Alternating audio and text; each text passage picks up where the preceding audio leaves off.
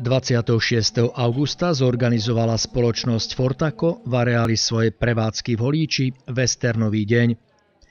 Určený bol pre zamestnancov, ale tiež aj pre ich rodinných príslušníkov, ktorí sa mohli spoločne zabaviť a využiť príležitosť bližšie spoznať prostredie, v ktorom pracujú ich najbližší.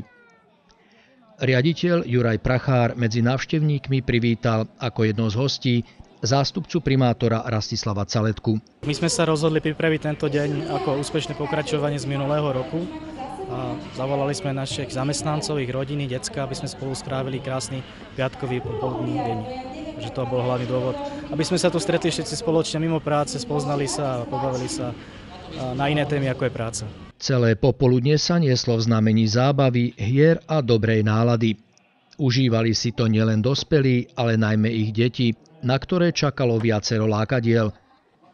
Keďže išlo o podujatie v štýle westernu, záujemcovia si mohli okrem iného preveriť svoju presnú mušku a šikovnosť v hádzaní sekerov, v streľbe z luku a vyskúšať si svoju silu na otáčajúcom sa bíkovi.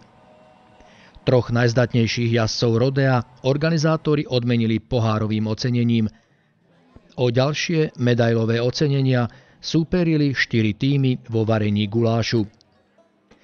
Podujatie bolo pokračovaním minuloročného úvodného ročníka pod názvom Family Day.